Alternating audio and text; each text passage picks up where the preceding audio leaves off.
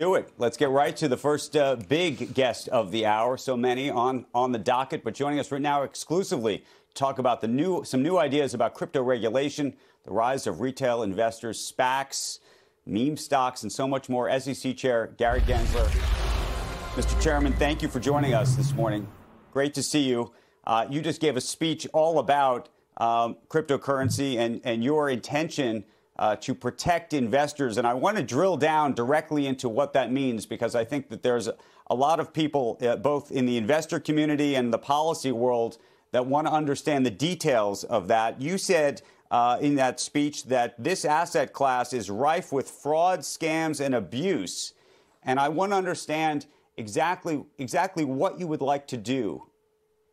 So, Andrew, it's good to be with you. Look, we're an investor protection uh, agency. And right now, this asset class, Bitcoin and the hundreds of other coins that investors are trading in, is a speculative asset class. And if people want to take risk, that's all right. But what we want to do is provide them some of the basic protections against fraud and manipulation.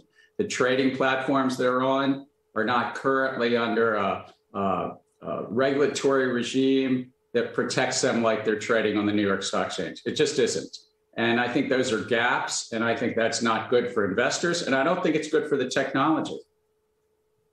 So, what has to happen? Do laws need to change? Do you have the authorities that you need? It's a great question. We have uh, robust authorities, and in some places it's pretty clear. Many of these tokens just given how they were uh, issued and sold and so forth, come under the securities laws. It's a facts and circumstances situation.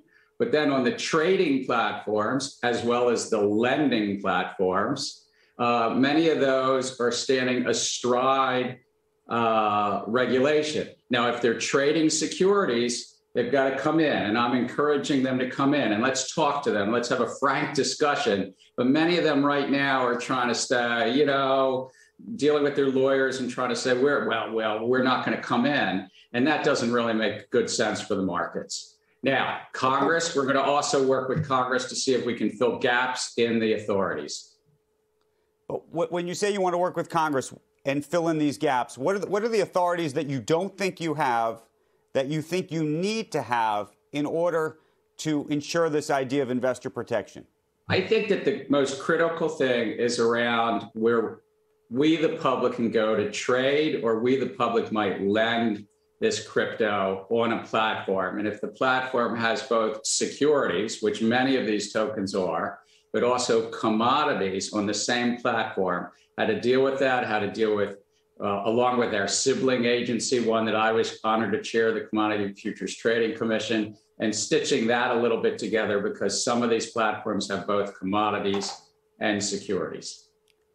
You, you just described some crypto as securities. Um, other yeah, SEC ma- chairs many, many to tokens are. have not. Um, which ones do you think of as securities, and which ones do you think of more in either a commodity basket or some other kind of asset basket? You know, I, I Andrew, I ha- hate for your viewers to uh, keep going back to this, but it's pretty clear, and the Supreme Court has actually spoken to, about this many times.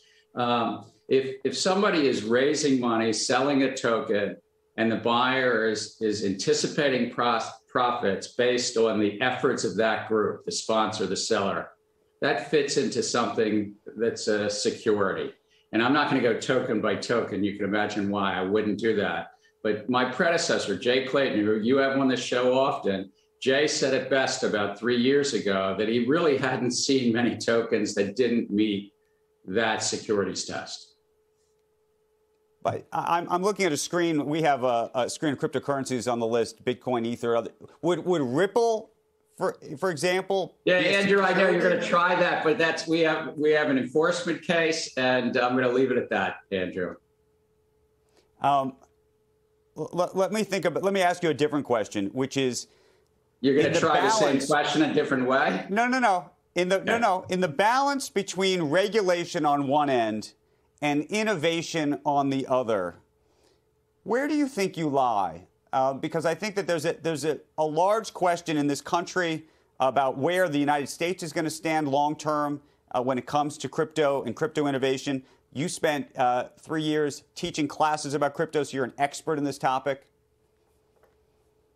I'm very pro innovation. I think it helps the economy grow. I think more people get access to finance and access to good medicine, access to good jobs. I think uh, I wouldn't have gone to MIT. I've been a professor there for three years at the intersection of finance and technology among some of the world's remarkable experts at MIT.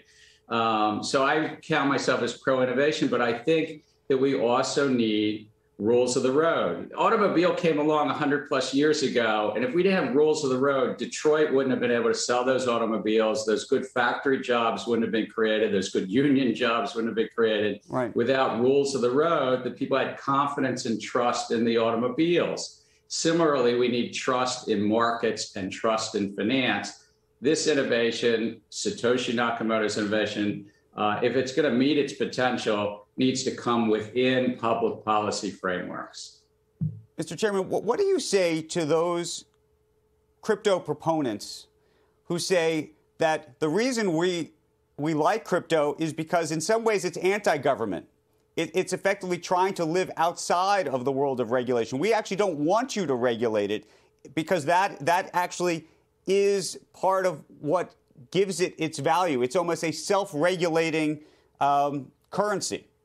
Look, it, it's it's it's it's part of this remarkable story. It's foundation story of Satoshi Nakamoto. We don't even know she, he, or they, who they are. It was a little off the grid libertarian movement to have a private form of money. And we've had private monies and public monies in the past. Private monies generally fail over centuries. That part of it is okay. And in fact, it's brought a lot of change. It's a catalyst to central banks around the globe to think about new payment systems and new approaches to money. But at the same time, we want to ensure that we guard against uh, money laundering. We want to guard against terrorists and the ransomware. Bitcoin is used inside of ransomware, the colonial pipeline circumstance of this spring that we all lived through. So I think we can achieve both. Uh, so I'm pro innovation, but I'm also pro the basic policy norms of investor protection, guarding against illicit activity, financial stability. And, and where do you land on the prospect of a Bitcoin ETF? This has been um, a, a long running question. Lots of folks have come to you and to this agency over the last several years now trying to uh, get a, an ETF approved. What would it take? Well, we already have some funds in the in the uh, uh, crypto space. Bitcoin, uh, the largest, been around for about seven years. It's not an ETF, but it's uh, been around. It's over twenty billion dollars in size, and we have some mutual funds in this space as well that are investing in Bitcoin futures from the Chicago Mercantile Exchange. So I would anticipate there'll be some filings in that regard, and I look forward to looking at staff and their review of uh, potentially some uh, ETF filings around investing in Bitcoin futures on the Chicago Mercantile Exchange around what we call in our craft the 1940 Act. I want to also talk to you about disclosure, and, and maybe it relates to the function of memes, meme stocks, but crypto I, I probably comes under this as well. You now have a whole new generation of, uh, of investors going on TikTok, going on Reddit, going on all sorts of other places promoting either cryptocurrency or promoting a stock. Where, where does the SEC see their role in that conversation? I think it's it's the same. It's, it's been for decades. It's trying to foster good debate and dialogue, uh, just just like on this program here uh, about uh, investing, and the retail engagement is is positive um, but also to guard against fraud and manipulation. And whether that's from big actors, big hedge funds in the markets, um, uh, or not, and also to promote transparency. We are taking a real close look at market structure. And uh, I recently started, a, you know, uh, engaging on Twitter and to some of those Twitter followers that are writing about dark pools. We are looking very closely at this market structure that so many of our orders, retail public orders, are not going to the lit markets, but are going to internalizers, going to wholesalers who are taking the retail public's trades rather than sending them to the stock exchanges. Hey, hey Gary, I, nothing. Your, your SEC chair. Sorry, I don't want to. I don't want you know. I don't want to get no, too you familiar. Can, either works. Either works.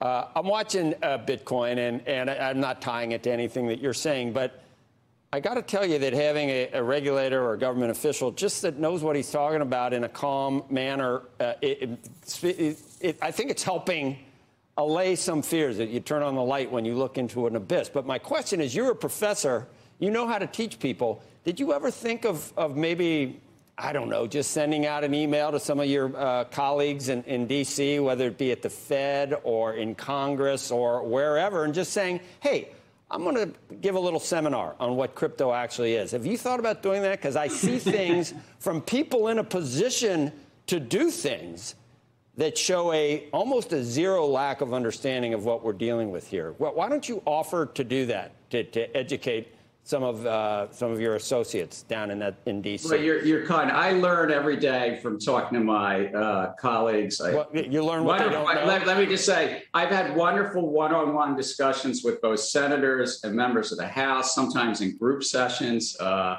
uh, I, I, don't want to share, but I, I compliment Senators those that Treasury secretaries for, for this, for uh, discussion on crypto. Fed chairs, Treasury secretaries, senators, all, all, all everywhere then.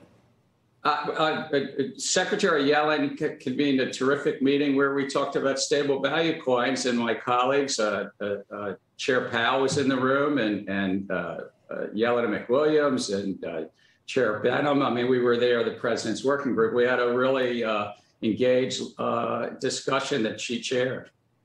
Okay. All right. There's hope. I wanted to ask you two, other quick questions uh, while we still have you. Uh, one relates to retail investors, and uh, one of the conundrums that we've we've seen now over the last several weeks and months um, is that they don't seem to vote when it comes to governance. It becomes it's become a very challenging circumstance. So you have a real agency problem, and I'm thinking, by the way, of Adam Aron not being able to get enough votes from his AMC shareholders, the apes, and then Lucid needing extra time to get uh, its shareholder vote for its SPAC. Do you think of that as a problem?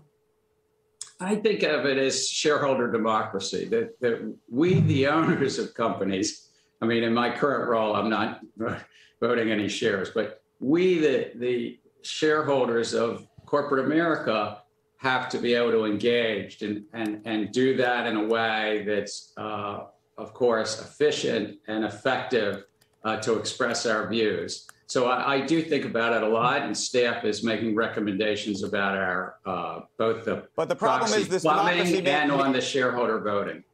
But how, how concerned are you the fact that people just don't vote? I mean, by the way, which is a feature of democracy, but but maybe a problem in the context of a business.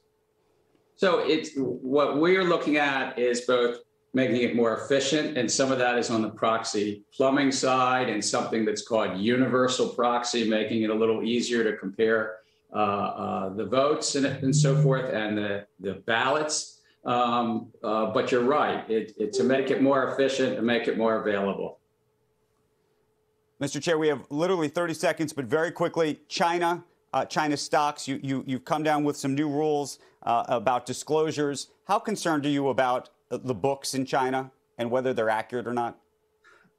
I, I, I am concerned. I think that um, for 17 years since uh, uh, Sarbanes-Oxley, a bill to reform accounting in America, went into being, um, that we have not been able, as Americans, through an organization called the Public Company Accounting Oversight Board, that we, the SEC, oversee, we have not been able to audit the auditors of Chinese related issuers. Number two, I'm concerned that the retail public doesn't yet fully understand that most of these companies are not Chinese companies. They're buying a Cayman Islands company that at best has a service arrangement with the real company in China.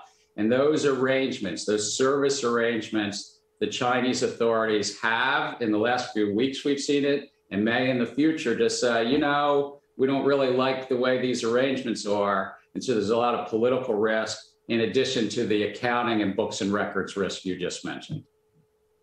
Mr. Chairman, we appreciate uh, you joining us this morning on so many topics. Hope to talk to you again.